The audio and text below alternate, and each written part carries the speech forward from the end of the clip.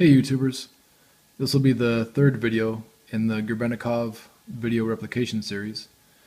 Today we're going to try to get one of these shells to hover over the other one.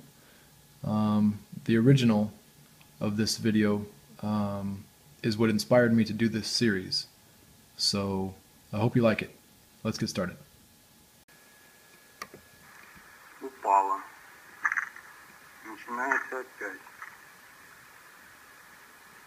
Выше не поднимается. Странно.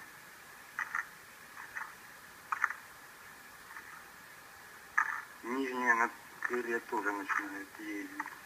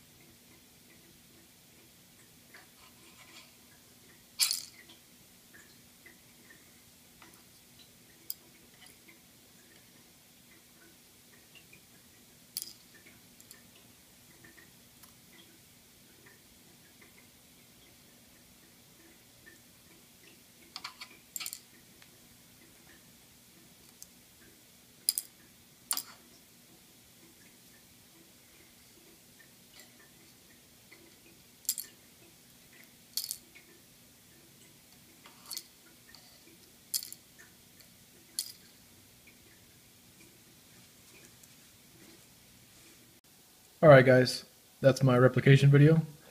What do you think? Pretty convincing? How did I do it?